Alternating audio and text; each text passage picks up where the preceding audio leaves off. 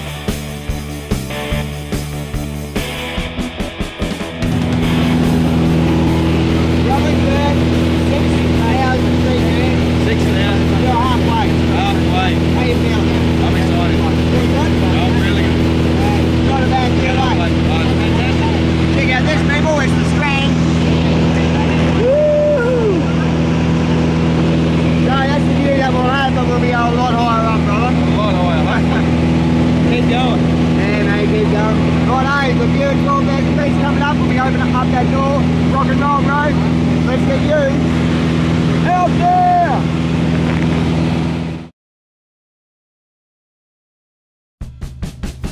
Okay,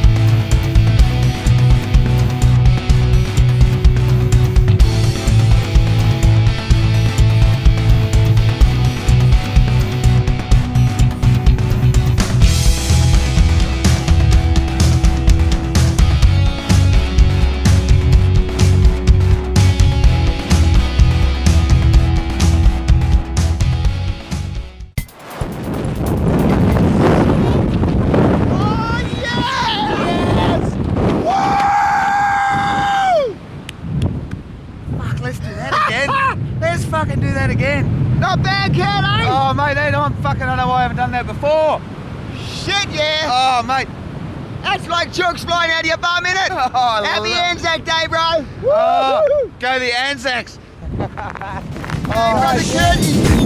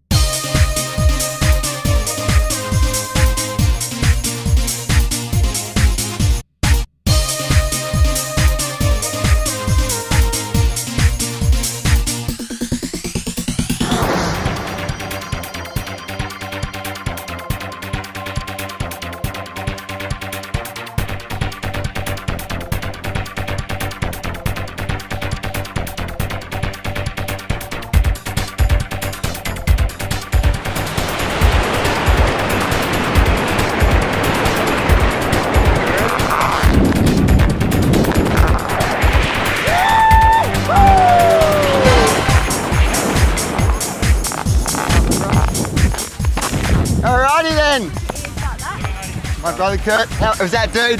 Man, that was the best thing I've ever done. Oh, thanks, man. That's cool. Would you do it again, though? You got time? I've always got good time, mate. Run the Anzac Spirit, bro. Thanks for doing Skydive Townsville. I think you should have a rum or a beer or maybe both. I'm gonna do it all.